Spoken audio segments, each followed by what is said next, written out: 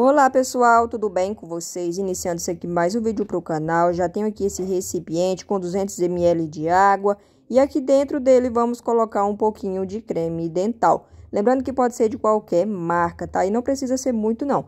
Essa quantidade aqui é o suficiente. E aí você vai misturar esse creme dental aqui dentro da água que é para ele dissolver.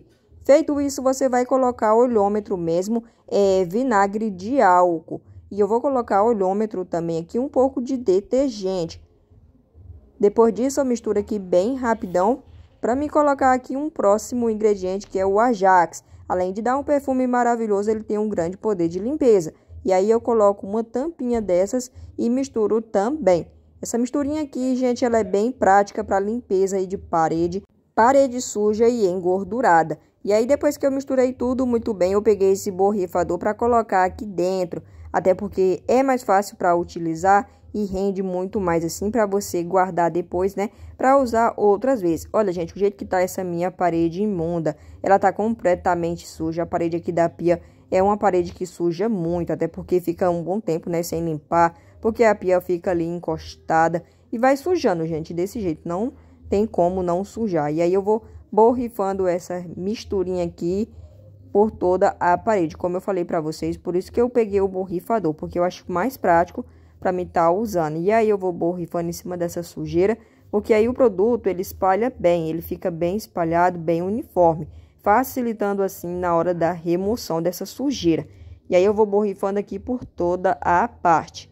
Já me conta aqui nos comentários de que cidade que você me assiste, até onde que esse vídeo chegou, seu feedback, a sua interação aqui no canal é muito importante para o engajamento, o crescimento aqui dos conteúdos, levar mais à frente, né, esse vídeo para outras pessoas e isso me ajuda muito. Depois que eu borrifei tudo aqui na parede, que ficou bem espalhadinho, eu vou esperar por aproximadamente uns dois minutos. É o suficiente para amolecer essa sujeira profunda, essa sujeira pesada aqui dessa parede, desse azulejo, tá? E aí eu deixo por dois minutinhos. Lembrando, gente, que com essa receitinha, além de você limpar a parede, você pode limpar também fogão. É ótimo aí para tirar gordura de fogão também, tá?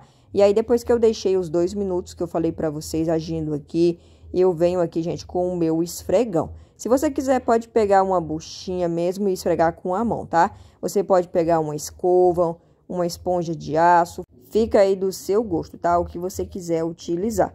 E aí eu vou passando aqui nessa parede e a sujeira, gente, ela vai saindo tudo. E a parede, gente, fica muito branquinha, fica muito limpinha.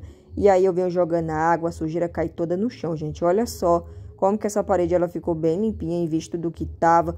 Então faz aí na tua casa que vale muito a pena para limpeza aí de parede. Eu tenho certeza que vocês vão gostar do resultado, porque além de limpar, deixa um perfume, até porque usamos aqui, né, um desinfetante dentro, deixou a parede limpinha, perfumada, sem gordura. Faça aí na sua casa. Já me conta aqui nos comentários que nota você daria entre 1 a 10 para essa receita de hoje.